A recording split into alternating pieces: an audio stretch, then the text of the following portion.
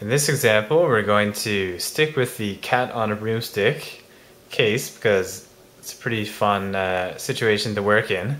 So we have a cat on a broomstick and it actually coughs up a, a huge hairball and the cat's traveling with, well, actually here at rest on Earth is you. So you're just standing there and you're watching this whole situation go down.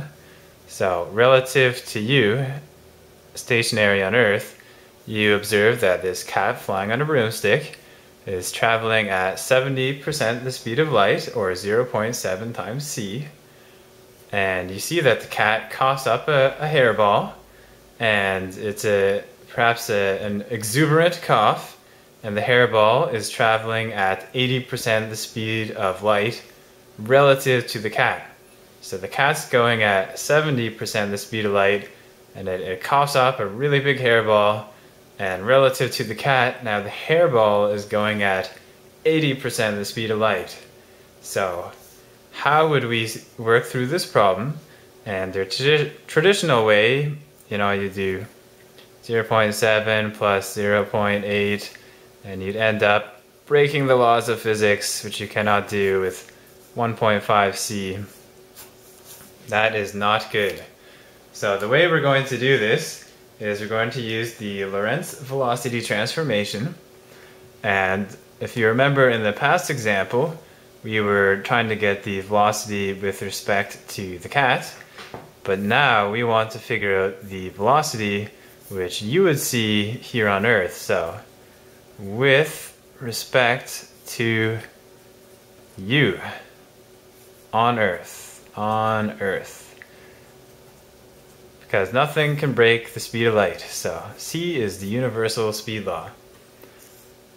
So we would use this equation, and in this equation, we would have the velocity, which you observe from Earth, of the cat on the broomstick, which is 0.7 c, and we would have the velocity with respect to the cat that the cat sees of its uh, extreme hairball that it coughed up, and then we would have the velocity, which you would see with respect to you, uh, of the hairball. And so obviously the hairball is not traveling at one and a half times the speed of light.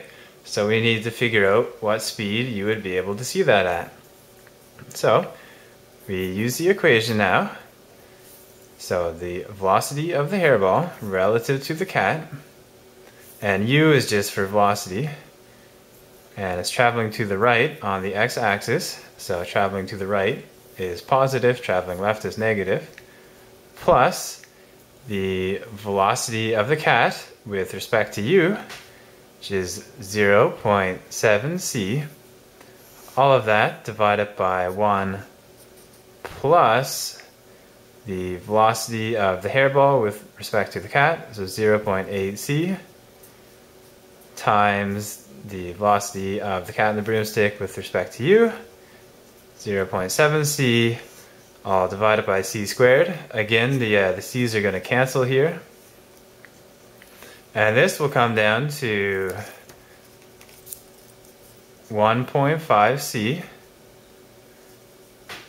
divided by 1 plus 0.8 times 0.7 so let's put that into our calculator now. 1 plus 0.8 times 0.7. So the velocity you would see is 961 c. And really, you know, c is just 3 times 10 to the 8 meters per second. So we could represent this another way as times 3 to the 8. So this could also be two eight eight four six one five three nine meters per second, which is pretty fast. So this is how you would determine it if the two relativistic velocities are traveling in the same direction. And in the previous video, we figured out how you would determine it if the two velocities were traveling towards each other, so in the opposite direction. Uh, that is basically it. Uh, okay, see you in the next video.